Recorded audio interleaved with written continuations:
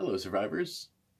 You know, I've been focusing a little too much on the negative and the like, you know, doomsday prophecy. Like, yeah, um, um everything's going to shit. We know it. Um, maybe I could focus on something lighter.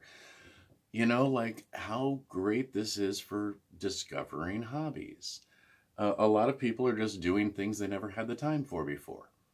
Like, um, well, I recently started some pepper fermentation. That's something I was going to do anyway this year, but this seemed like a perfect time to learn how before our actual pepper harvest comes in.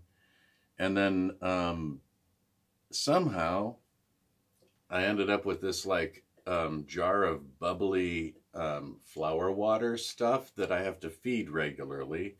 Like we don't have enough pets already. And I, I mean, this one's different because uh, when it gets too big, you need to like cook half of it and eat it.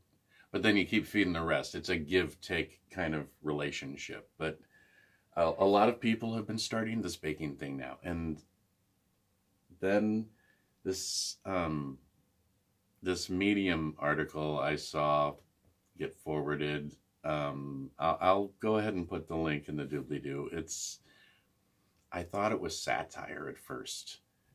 Okay, it's written by Caren White.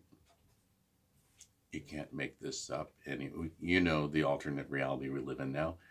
So I, I actually thought it was satire the way the entire article is written, um, complaining about people buying up all the flour because they're baking at home when they didn't used to have the time. They're like, this is my way of life and just because you didn't have the time before means you shouldn't do it now and um i looked into it's it's like it doesn't seem like it's satire she's just um um like the kind of uh weird left that the right tries to characterize the entire left as like one of those um, holistic, only eat organic, crystals up the butt kind of left, but still uh, rich and entitled in the end.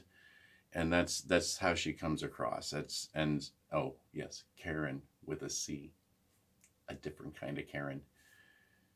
But you know what? Don't don't be shamed for learning new things. This is um, it's a great time for it, right? What else are we gonna do? Bake your own food. I mean, if you were really into all that, you would want to encourage people to be making their own food instead of just only being the one eating healthy, right, Caren? Anyway, stay home. See you later.